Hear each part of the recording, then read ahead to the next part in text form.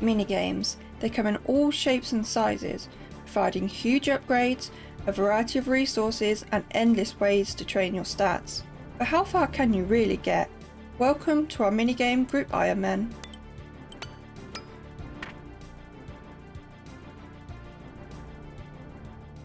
We are starting out this episode getting ourselves a player owned house now that we can afford one, officially unlocking the construction skill for the account. This also unlocks another teleport as we can use the teleporter house to get to Rimmington or wherever we relocate our house. Before we head to Wintertodt, we also need to complete the Druidic Ritual quest to unlock Herblore. Unfortunately, there is no method via a minigame to obtain the meats for the quest, so we are simply going to have to kill the monsters.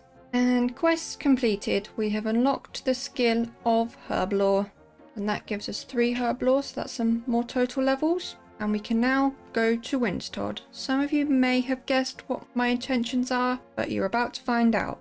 Right then, explanation time. We can't actually do Wintertodt games because we don't have anywhere near enough food, but that doesn't mean we can't get ourselves some nice construction and herb herblore experience. The method is going to be have a hammer to fix the braziers when they break, and collect enough herbs to fill an inventory but one. Then we can go back to the safe zone and make potions without taking any damage. The XP isn't great, it's 10% of your current level, so we get 0.3 XP per potion. But this is our only available herblore method at the moment. The goal is at least 10 herblore to complete another requirement for the dig site quest. Oh, and we also get the occasional farming XP drop. Nice. Okay, we take a lot of damage and we also die. Going great. So, change of plans. We find ourselves at Guardians of the Rift again.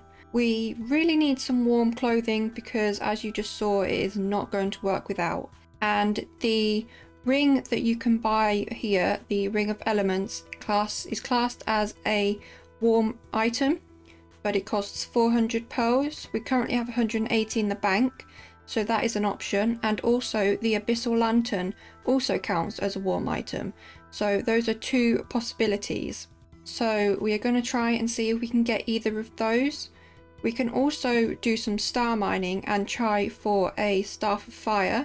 That is also a warm item we could possibly get. We do have one warm item, which is the Demon Feet that Mini Game Boy got last episode, but unfortunately that is it. I will see you with some rewards. We took a break from Guardians of the Rift and once again, Minigame Boy got a clue scroll. However, he needed an Iron Full Helm, which has a 22 smithing requirement. This time, he won't be using toggle for ores, but instead he'll be using pest control points for mineral packs, then superheating the ores. Thankfully, after all the grinding, he manages to complete the clue, but didn't get any useful pieces. Hey, two more collection log pieces. That was a really long mime show. I did like 10 emotes. While we're here, I finally completed my own clue. Oh, a unique. Finally, and the magic amulet is best in slot for a while. Almost got a whole outfit right here. For a second, I thought that was an Iron Full Helm that Minigame Boy just grinded out. That would have been kind of funny. While we get back to mining, another beginner clue casket. Come on, fire staff or boots? Well, that's pretty shit. On to the next. And the next is a steel battle axe. That's uh, Trash? Well, we are here at this little guy as I realised I have enough Stardust now to buy the Celestial Ring. I actually forgot I can buy things with the dust. I'm so used to playing on the free-to-play Star Miner and not having access to this shop. If you haven't seen that series, I'll link it above. And there you go, that is a nice invisible plus 4 boost to mining, which will help with mining more stars and at Guardians of the Rift, especially while we are stuck with the bronze pickaxe.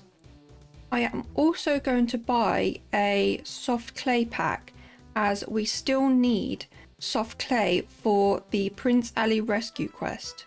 So that marks off one more item off the list.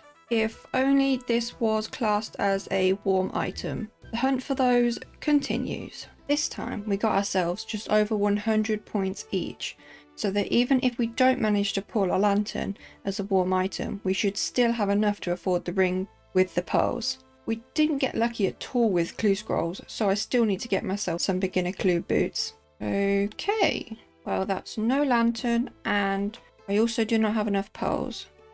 But I'm going to bury these ashes. We're going to get six prayer and then we're going to open up these intricate pouches and I am going to get a genie lamp.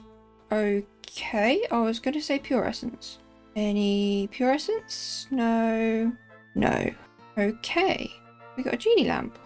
Can I put this on anything? How much XP does it give us? Hang on, I need to look this up. Okay, so according to the wiki, I get 10 times XP of the level. So if I put this on Hunter, I should get 120 Hunter experience, which gets me to 13 Hunter. That was a nice surprise. Unfortunately, no pure essence. And we also still do not have enough pearls for a ring. Because the ring costs 400 pearls. So I guess it'll probably be worthwhile doing a couple more games so we can guarantee a warm item. And then we are also going to have to go back to star mining to get some warm items from clue scrolls. This Herblore training has definitely been delayed. Well, I just recorded the whole thing on the wrong screen. Professional, I know, but me and Mini Game Boy finally got enough pearls and brought ourselves the Rings of Elements. And I opened up two beginner clue scrolls, which I'll put up on screen now. And we still did not get any more warm items. So back to the beginner clue scrolls to get ourselves a fire staff and some boots. Nope. Hey, I got an iron pickaxe. That is an upgrade at least. Oh, Mini Game Boy one-upped me and got himself a steel pickaxe. And a nice magic amulet for himself too. Straight into our first staff. Not a fire staff, but still super useful. Mini Game Boy sure has the clue scroll RNG. What was I just saying? Now he goes and gets a black axe. I will get us something soon, I swear. And Mini Game Boy just got himself 15 fishing, which means he can now do fishing trawler without me. Seeing as I still have 10 fishing, I will be staying at Stars to get myself those beginner clue boots and maybe a fire staff. They aren't needed so much now because Mini Game Boy will be off to trawler to finally get us some food. His first attempt at soloing fishing trawler was easier than expected. It's pretty high intensity, having to fill the holes, fixing the net, killing the kraken, fixing barriers and bailing, but you do get a small amount of crafting, construction and woodcutting XP. The construction XP is especially nice for the early levels. He completed the first game and went and got himself 1 KC angler boots.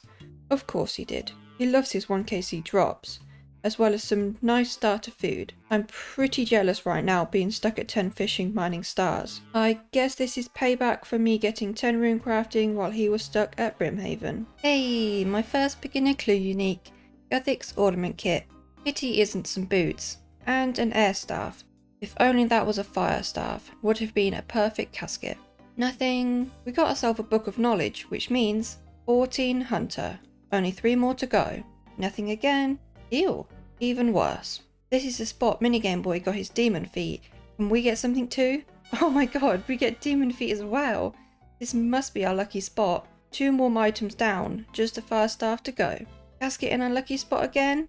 Oh, I guess it isn't 100%. Minigame Boy has been grinding out fishing trawler for food, but we have discovered it is pretty expensive because of the swamp paste. So the amount of games he can do at the moment is going to be limited.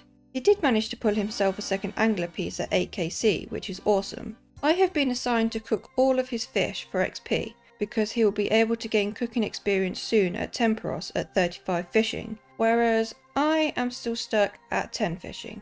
Hopefully I don't get stuck not having enough fish, but first, here I am ploughing some fields. 100% Hosidius favour is required to unlock Tithe Farm, but it also gives me access to the Hosidius Kitchen, which gives a 5% increased chance of not burning, which will definitely be needed.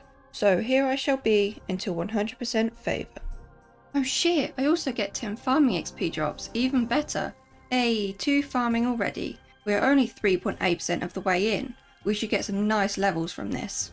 10 trawlers later and Mini Game Boy gets himself the third piece of the angler outfit and goes on and finishes the full set in 25kc. But he didn't stop there. He got himself to the 35 fishing required for Tempoross and finished off another entire angler set. These are his final stats from the trawler grind. Pretty jealous of those levels. But while he has been doing all that fun content, six hours later and I have finished ploughing fields. Yay! I managed to get to 13 farming, so wasn't a completely useless six hours.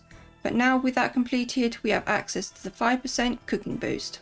We decided to complete Gertrude's Cat before any cooking for the 1525 cooking XP reward, and to complete another pre-quest for the rat pits and pyramid plunder. So now I can cook the fishing trawler haul and hopefully not burn too much. Mini Game Boy only goes and gets himself another pickaxe upgrade, the black pickaxe.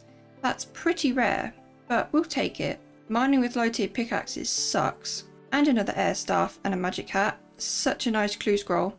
And cooking done. Honestly, I burnt less than I expected, so we got a nice 30 cooking from that, which is kind of perfect as we'll be getting tuna from Tempoross. Now that is done, there is still the small issue of the third warm item for Wintertodt. So back to good old clue scrolls. Mini Game Boy got an elite clue scroll from mining, which is pretty rare. He managed to save spot the Banos Guardian, just about, but got stuck on the third step for the time being. Did you know that you can join my channel and get shoutouts at the end of my videos? If you have any ideas of what you would like to be offered to channel members, let me know in the comments below. And back to the pretty useless beginner clue caskets. Really? A water staff? We've now had every staff apart from fire. This has got to be so unlucky. Never mind, my partner clearly has a way with clue scrolls and pulls the first fire staff on a single clue roll. One down, one to go. A rare easy casket coming in for... Oh! Black skirt G. Nice fashion scape. Into back-to-back -back collection log slots. Nothing useful though. Never mind that. Back three backlog slots and some nice prayer bonus legs. Of course, Mini Game Boy then goes and one-ups me with a golden chef's hat. That fashion scape though, would have been great for the clue scroll step if we could get the red cape. And clue scroll grind over. That is the second fire staff acquired. I really did try. Clue scrolls just don't like giving me what I want. I thought you would like to see the Stardust stack. I gathered 30,000 and finished on 67 mining, while Mini Game Boy acquired 30,000 dust and also reached 67 mining. I also have this book of knowledge I kept forgetting to use. So here we go, 15 Hunter. Slowly getting there. Anyways, we finally could have three warm items each for Wintertodt. We realised that the Jungle Potion quest gives 775 XP in Herblore, so it would be beneficial to do that before heading back to Wintertodt. It is a pre-quest for the Tai Bwo Wannai cleanup minigame, so let's head over and get that sweet Herblore XP. One, two, three, four, four and a half. Come on, I've been picking at this bloody wall for four minutes. And five, finally. Let's get out of here. And quest completed. A nice 775 Herblore experience. And we are now 8 quest points out of the 32 needed for Champions Challenges. That got us to 9 Herblore. Great start. Now finally, back to Wintertodt. Here we go again. The strategy has changed. We're going to try and lower the Wintertodt's health down to less than 10% so it hits us less and can hopefully train for longer. Now that we are 9 Herblore, we should get 0.9 XP per potion, so almost 1 XP per. Let's go. Light all of the fires, then stand in the safe zone until something needs relighting. As you can see, it's hitting a fair bit at the moment. Oh, getting 1 XP and farming per pick now as well.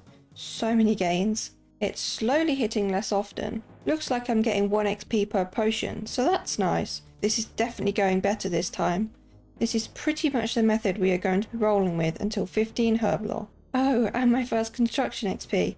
Wintertodt is amazing. Hey, we got enough points to be eligible for a reward. So if we manage to finish off this game at the end, we can get ourselves a crate and 10 Herblore. Another dig site requirement knocked out. I need to log out, so let's finish off this game and see what rewards we can get. Hey, nice. First Wintertodt KC and 51 firemaking. Time to loot our first crates. Drumroll please. Toadflax, Irits, and a diamond. Oh, and some coins. Decent. Mini Game Boy had more points than me, getting himself burnt pages for a nice log slot. We will try and finish off games periodically to get Pyromancer pieces, and of course supplies. A 14 farming, we can now plant Marrentills. These constant 1 and 2 XP drops really do add up. Another game done, and another crate for us both. Few herbs, logs, coins, not too bad and for Mini Game Boy a nice acorn for some extra farming XP and some nice mythical ore. Yes, to construction My XP here is pretty bad starting from 1, but I have no other option. At least I should get a couple of levels. My turn for a nice log slot, burnt pages, while Minigame Boy is getting all of the logs and farming supplies. This time we have two crates each to open. Unfortunately we disconnected mid-game. We tried to save it but ended up running out of food.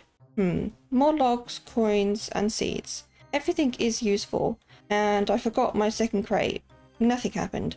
More of the same. And 15 Herblore. We decided to do one big point game for the last two levels for some juicy loot rolls. Should be a really nice crate. We got 5.7k points, so there should be 11 to 12 loots. Yes, a Bruma torch. Such a nice item. Light source, warm item, and saves an inventory space, plus some more nice herbs. Unfortunately, no more warm items for Minigame Boy. I am going to end this episode here. These are our ending stats, starting to look more unique from each other, especially with Minigame Boy speeding ahead with Fishing Trawler. Don't forget to like and subscribe if you are enjoying this new series. Thank you so much for watching. See you next time!